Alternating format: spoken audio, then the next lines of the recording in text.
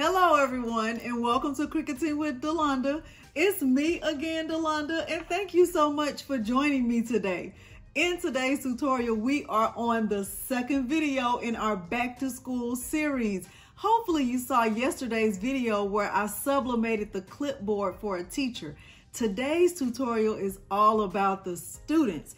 I went to Dollar Tree and I found these cute little um, pencil boxes and I was so excited because I know these can be personalized perfectly. So I found them in various colors. I found a little orange one, I found a clear one, and I found this green one. I also found, um, and these are what we're doing today. I also found these um, zipper pouches. We're not doing these today, but I can show you what I've already done with this one. Look at that. I am going to show you how I did this in tomorrow's tutorial. So stay tuned. Make sure you come back and join me for this. But in today's tutorial, we are personalizing these and um, I'm excited to share my process with you. So at the end of the video, if you find this tutorial helpful, please consider liking the video, subscribing to my channel, and turning on the bell for notifications because I do upload new content every single week. So without further ado, let's get started. In order to complete this project, I will be using my Cricut Explore Air 2, a green standard grip mat, StarCraft matte inkjet printable permanent adhesive vinyl that I purchased from 143 Vinyl. And I will be using two of the three pencil boxes that I purchased from Dollar Tree. Okay, so let's head on over to Cricut Design Space. The design that I'm using on the first pencil box is one that I purchased from designbundles.net. It is this one that says back to school alphabet and it includes 14 different alpha sets. I like this um, file because it has a lot of variety and it has colors of, you know, different choices. The audio cut out while I was filming this portion of the tutorial and I wasn't sure why, but I definitely wanted to keep this portion in to show you the other options that were included in this file. Um, there was the pencil option. There was one for red and blue dots. There was another option for graph paper and multiple options of crayon choices, um, but I definitely wanted you to see that. Now let's head over to Cricut Design Space. I am in Cricut Design Space and I'm connected to my Cricut Explore Air 2. What I'm going to do now is upload the individual letters that I'm planning to use for my file. So I'm going to click upload I'm going to go to upload image. And for this first pencil box, I'm making this one with my son's name on it. And I'm only planning to use the five letters that are in his name. So for this file, I have to upload the M. So I'm going to click on the letter M, click up, open. I'm going to choose complex, click continue. I'm not going to do anything to it here. I'm going to click apply and continue. And I am going to select the print then cut image. And then I'll go back and click upload again, click browse, go back to that file. Then I have to upload the Y and I have to go so on and so forth until I finish uploading each of the letters.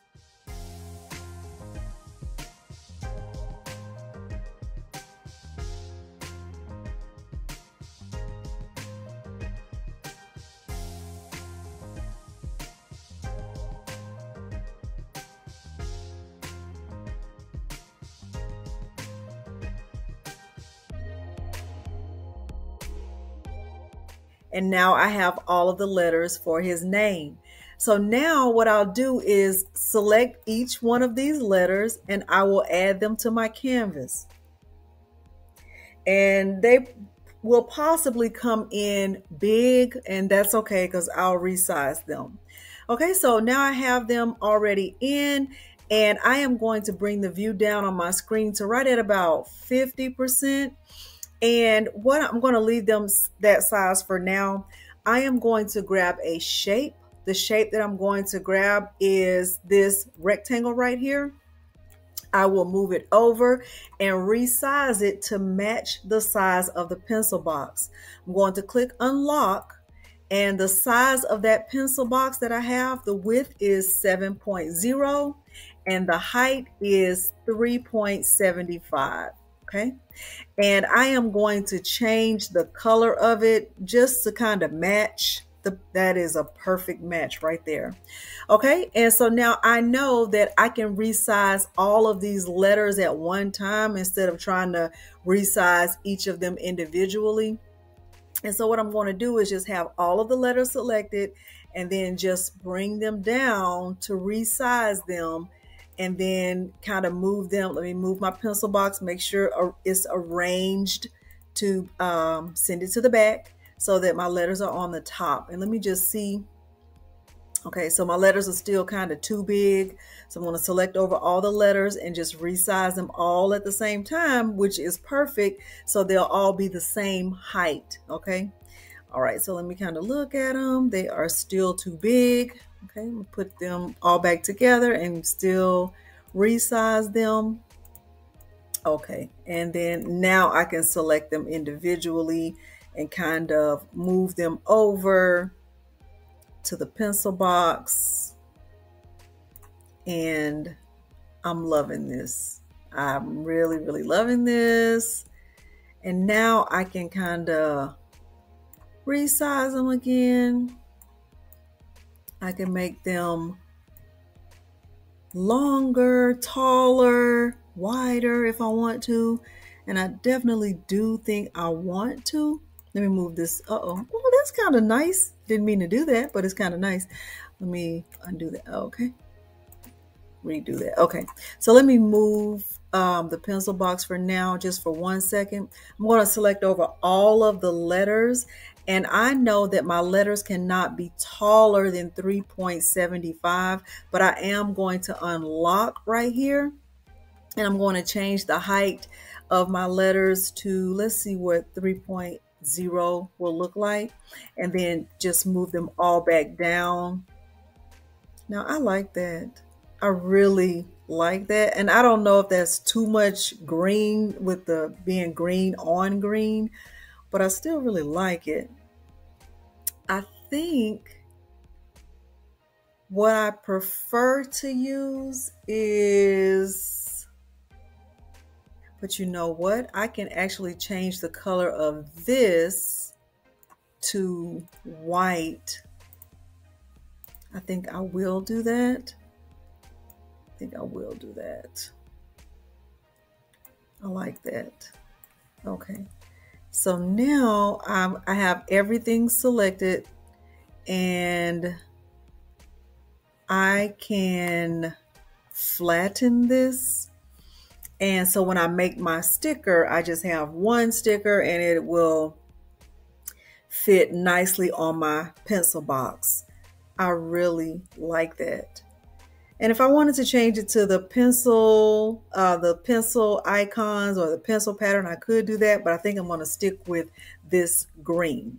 Okay, so now for the next pencil box, I know that the size, I'm going to grab a shape and once again, the shape is going to be a rectangle. I am going to unlock it. I'm going to change the width to 7.0 uh, and I'm going to change the height to 3.75.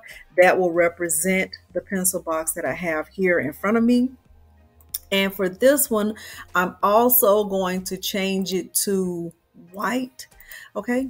And for this one, I am going to do it a little bit differently because I want this one to actually look like a sheet of notebook paper. Okay. So what I'm going to do is grab a shape and I am going to grab this rectangle and I am going to unlock it, I want the width of this box to be 7.0. And I am going to bring the height in. Okay, so I'm going to keep that at 7.0. And let me see if that is right. That's actually a little bit too thick. Let's see. Yes, I want it like that. So the the width of this line is 7.0 and the height is 0.1. And so what I'm going to do is duplicate this line two times. Okay. And I am just going to kind of space it out a little bit like that. So it is actually looking like um, notebook paper. And I'm going to bring that up, bring that up, and bring that up. Okay. And then what I'm going to do, that kind of doesn't look um, like it's spaced out properly. Okay.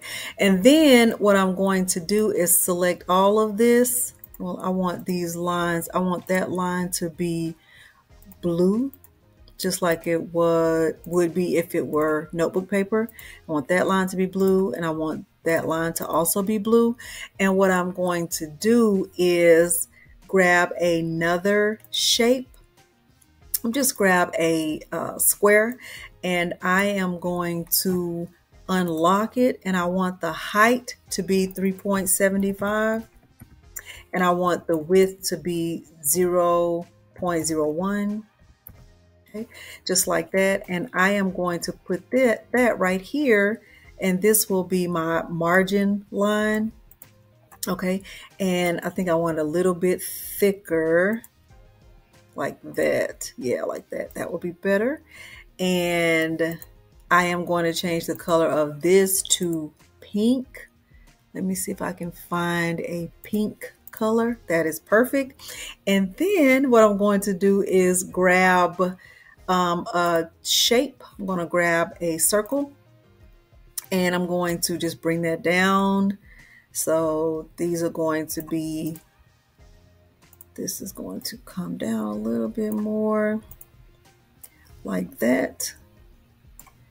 And I'm going to duplicate that and I'm going to put that right here. Let's put it right there.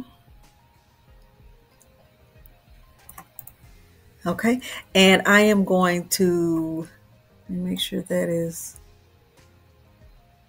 on there all the way. Perfect so far. And then now I am going to grab a text box and I am going to type the name Madison. And I am going to move it over here. And I want her name to be in, what color am I going to choose? Red. We know that already. And I am also going to go to images and we want to look for pencils. Let's look for pencil. Maybe just one pencil. And let's see what options we come up with.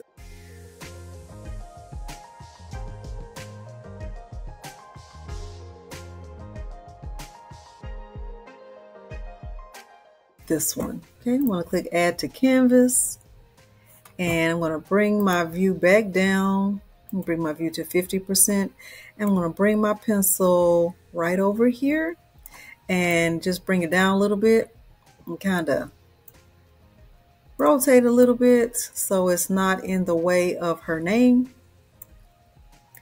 Bring it down. Let's see. Maybe I'll bring this up and bring her name down. Let's see. Is this the one I like? I am not loving this one. Let me delete that and go and find another pencil option. Let's see how this one will look bring my view down to 50%. Now that might not look bad.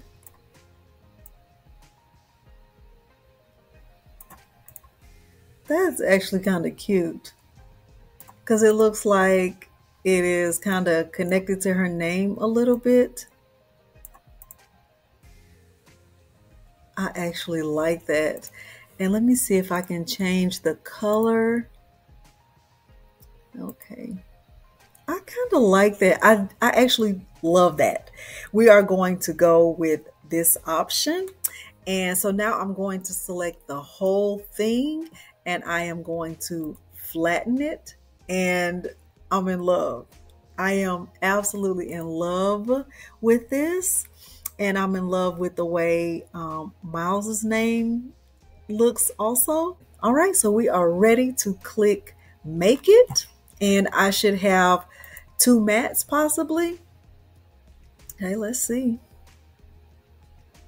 Okay, I have one mat for Madison's box and I have one mat for uh, Miles's box and and we do not have to mirror this because we're not using a heat source. So these are two print then cut images and now I will send them to my printer and I will show you what that looks like. I'm going to click continue and I am going to send this to my um, Canon MX470 printer and everything that I'm going to do from here will be back on the camera. Okay, I don't have any paper in my tray. I am going to load my paper. I'm using one sheet at a time, even though I'm printing two sheets. I'm going to load my paper in face down and I am going to click print and you will see my paper come out of the printer and then I'll get the next sheet loaded. I'll speed this part up.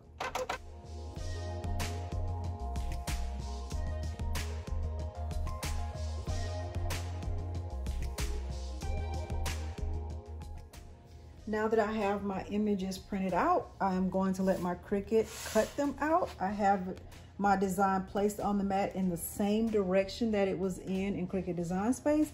And I'm using the infusible ink cut setting.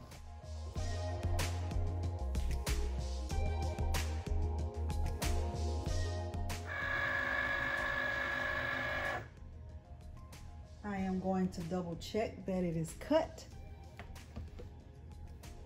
It looks like it is. I'm so excited about this, but let me double check. I am going to let it cut one more time by pressing the C.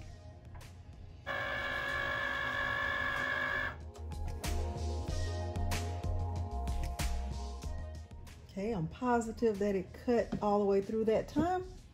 I will unload this. Oh my goodness. that perfect cut. Now I will grab my first pencil box and hopefully I can remove the backing. I'm not really good at that. I was able to grab it. Look at that. Oh my goodness. Oh my goodness. Oh my goodness. How cute is this?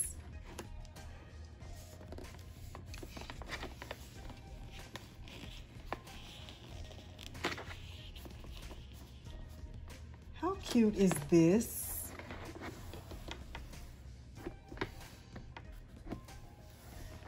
How, how cute is that? OMG. OMG. I love it. Oh my goodness. Okay, so let me do the next one.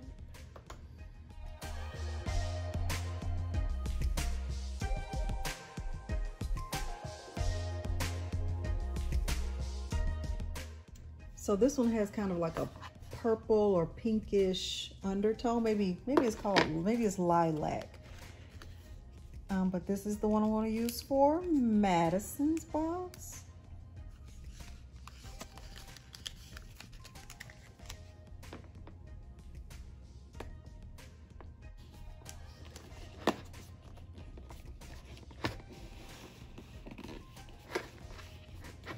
I might love this too much. Oh my goodness. So this is what the finished product looks like. This, this one is Madison's and this one is Miles. Leave a comment below and let me know which one is your favorite and whether or not you plan to use that same font that I purchased from Design Bundles. Now, I am super excited with how these turned out, and you already know what I'm going to say. I love it. I love both of them. And maybe I'm a little bit, you know, partial because of their names, but I love the way these turned out. I think these are super easy to do. So even if you're a teacher and if you want to make one for, you know, each of your students or you wanted to make one to put on the different tables in your classroom, the possibilities are endless. If you found this tutorial helpful, please consider liking the video, subscribing to my channel, and turning on the bell for notifications because I do upload new content every single week. Now, don't forget to come back and join me in the next video in these ser- for the next video in this series because I am going to show you how I was able to use a Dollar Tree pencil pouch and make this cute little pencil pouch right here. So, thank you so much for joining me today and thanks for watching. Bye.